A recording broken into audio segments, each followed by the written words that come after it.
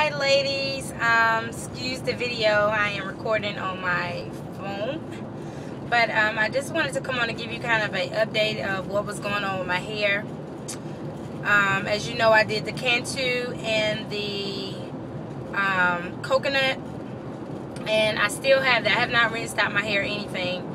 And today I had some product called Curls Up um, I'm not sure who it's by. It may be by Motions, but if not, I just know that it's in the same color. It's in that purple and gold looking color. But um, anyway, I was out of jail. I was trying to do a puff.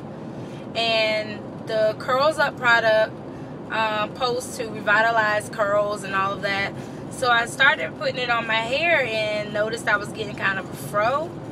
So I put it in and it mixed well. I mean, like, you don't mix a whole bunch of products together and not get a whole bunch of white, you know, flakiness or whatever, but it really did well. My hair is like big and puffed out. I like it.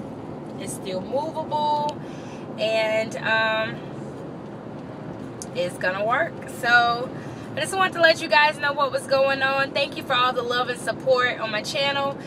Guys, I'm trying to do a 600 giveaway and my gosh, I have I have um, subscribers coming out the woodworks.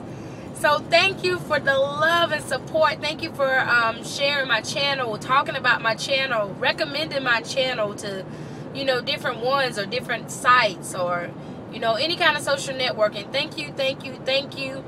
Um, I try to respond to everybody, but if I did not respond to you personally, take this as um, a personal uh, response. Thank you so much for um, just subscribing to my channel and finding something that was, you know, interesting um, to you.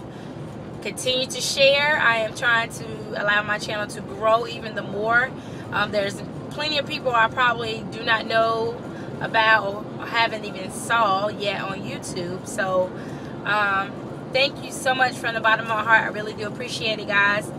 And okay, getting a little long with it here. That was all I was going to do for this video, guys. Um, stay tuned for my giveaway. It's coming up real soon.